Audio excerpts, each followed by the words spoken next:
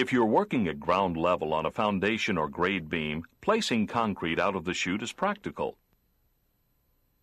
If you're working above grade, pumping equipment is required. Placing the concrete with a pump is not difficult, but it helps to have some experience. If no one on the crew is experienced, it's a good idea to hire someone who is for the first couple of jobs. The wet concrete exerts a great deal of pressure on the bottom of the form. EcoBlock is designed to handle it but you need to avoid doing things that will increase pressures to dangerous levels. The first step in controlling pressure is to work around the form in four-foot lifts. By the time the first lift is completed, the placed concrete has usually cured enough that the second lift does not cause a dangerous increase in pressure at the bottom of the wall. Instead, the pressure is now concentrated at the bottom of the second lift. Outside of lift, the force of falling concrete, excessive vibration, and water added to the mix can increase pressures by one and a half times or more. To control the pressure of falling concrete, use an S-bend on the boom and a 2-inch line. When working from a chute, break the fall of the concrete with a shovel.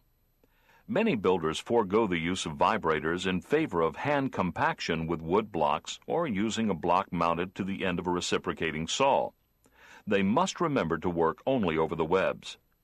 When a vibrator is used with EcoBlock, the recommended size is 3 quarters of an inch, and never use a vibrator larger than 1 inch. If you need to add water to the concrete mix, check with the batch plant before proceeding.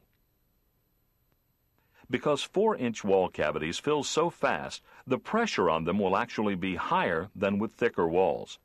When placing 4-inch forms, remember to hold back on the concrete flow accordingly. Start placing the concrete by filling the area underneath the window bucks.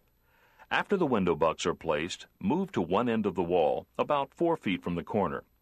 Do not place directly into a corner. Instead, let the concrete flow into it.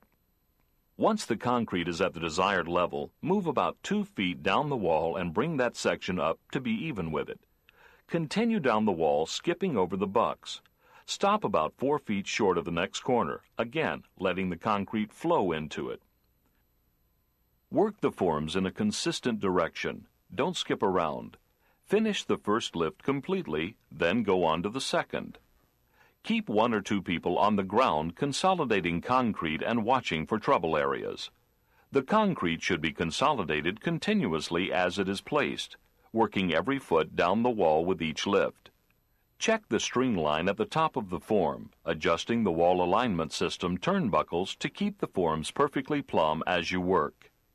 Immediately after placement, check the string line again and check your vertical alignment. Make any last adjustments before calling it a day. After the concrete has set for 24 hours, you can remove the straps from the bucks. The wall alignment system and bracing should remain in place according to your local building requirements.